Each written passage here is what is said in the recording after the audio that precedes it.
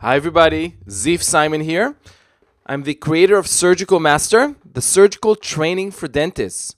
Welcome to another instant replay, which is a presentation I record shortly after a surgery where I give you a surgical recap, tell you what happened, give you some tips and tricks, and also talk about the lessons that I've learned from the case.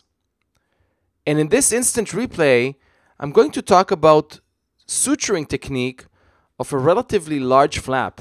How do we close a big gap? And what's what's the best way to do this? And when I looked at the surgical site at the end of the procedure, it reminded me of those warning signs in subway stations that warn you about minding the gap, basically telling you be careful not to fall into the gap between the platform and the train. That could be, you know, very painful, very damaging. So I'm going to share with you how to close up this flap and what, what is the technique that I used. So the procedure that I just completed was a sinus augmentation procedure. Everything went very well. I chose the lateral window technique and augmented the sinus through the through the uh, the window. You're looking at the bone graft at the end of the procedure, and you're also looking at a relatively large flap, which is the key to success, in my opinion, for this procedure. So you have good visibility, so you can perform a good lift. That also entails to create a vertical releasing incision away from the window. So we can close this up very, very nicely and tight, and we get good healing. So this is the radiograph at the end of the procedure. There's a, vertical, vertical lift. And uh, the question now is how do we close this gap? Do we start with the vertical releasing incision? Do we start with the uh, relatively large flap on the edentulous ridge? You know, what do we do next? How do we close up this gap? So really, I'd like you to go over uh, a certain thought process. I'll, I'll share with you what I'm thinking. The first thing that I'm thinking is, do we need to primarily close this flap? Do we need to have primary closure with no gaps, no opening? How critical is it? Uh, for a sinus lift, is very, very critical. We need to make sure that everything is nice and tight. Uh, we're expecting some swelling uh, that's uh, uh, a very common side effect of this procedure. So the tissue will swell for the first day or two uh, throughout the uh, through the inflammatory process. So we're expecting a lot of swelling.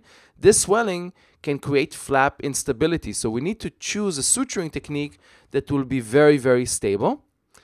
And we also need to look into what type of tissue quality is in the site. What's what type of tissue are we suturing? And once we have the answer for all of those questions, then we can pick our suture material and the size and the technique. So for this, this procedure, we definitely need primary closure. We're expecting quite a bit of swelling. That, uh, that's the nature of the procedure. And we're dealing with mostly good tissue quality. The palatal tissue is very nice and thick. So for this surgery, for this suturing, I picked three types of suture sutures. One is a Gore-Tex 4.0 and two resorbable gut sutures. One is a gut 4.0 and one is a 5.0 and I'll show you how I use them. And I also chose three techniques that I'll combine all together to get a nice and tight closure. The first one being a simple interrupted. The second one is a horizontal mattress. And the third is a continuous suture with interlocking. And once you chose the right suture material and the right techniques, you'll notice that your suturing is getting better and better and you're getting the suturing results that you want. So the question is, where do we start? Do we start with the edentulous ridge uh, or do we start with the vertical? My recommendation is start with the vertical. If you start with the ridge, you may get nice closure because there'll be some flexibility coming from the mucosa. However, you may run out of tissue. You may leave some gaps where the vertical is. So I definitely recommend start aligning those interproximal papillae. Start by suturing the vertical releasing incision. And here I'm using a Gore-Tex 4.0, a simple interrupted suture, and aligning the tissue between tooth number 11 and number 12. And I also added two gut sutures on the vertical releasing incision where the gingiva is. Once I have this closed up, I already have the flap aligned and I will add one more Gore-Tex suture to the distal of tooth number 12. So we know that when we get to suturing the edentulous ridge, we will not get any openings in the vertical releasing incision. So that, that is the first step. The second step is to use a horizontal mattress suture to suture the, the uh, edentulous ridge. And the idea behind the horizontal mattress is to get very nice and tight closure, a very quick closure, and also in anticipation uh, for a lot of swelling after the procedure. So the way the horizontal mattress suture works uh, is as follows. We start with the, uh, for example, the mesio mesiobuccal um, area, uh, entering the tissue through the attached tissue about maybe two to three millimeters from the edge of the flap.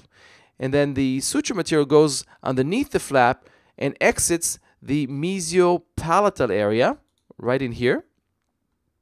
And then we come back, we basically follow our footsteps, we come back through the distal palatal and exit through the distal buccal. Now, once we tie the knot, the two edges of the flap will come together very nice and tight way with the connective tissue towards connective tissue. And I recommend you place perhaps two or three of those sutures to have a quick closure of the large flap. So at the moment, I placed three horizontal mattress sutures, and at the, at the moment, the flap is aligned.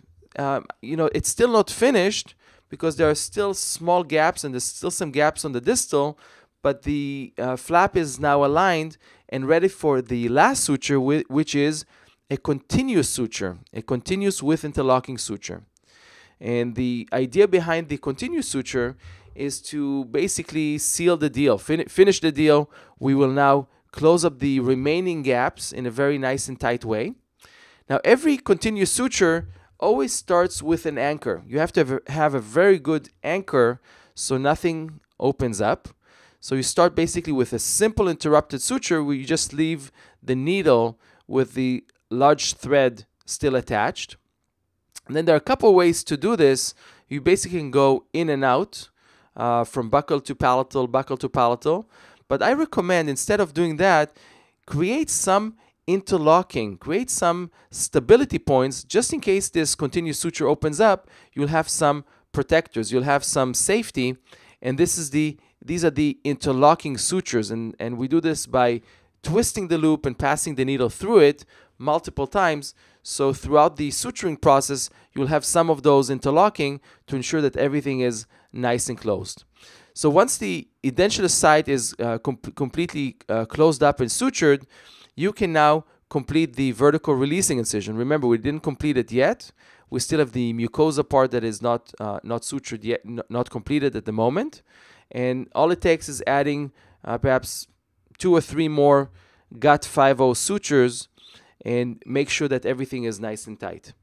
Now, if you want to be really nice to your assistant, when you're done with your suturing, take the needle and with the needle holder with the Castro and place the sharp end uh, in between the holder and put it on the surgical tray. This way, nobody gets poked and your assistant will definitely appreciate it.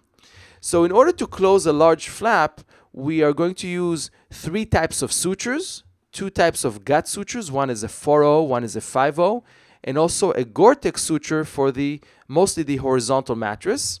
And we used three techniques, the simple interrupted, a horizontal mattress for the tight closure, and at the end, we added some uh, continuous interlocking gut sutures and a few interrupted gut sutures in the vertical releasing incisions. So this is how you close the gap.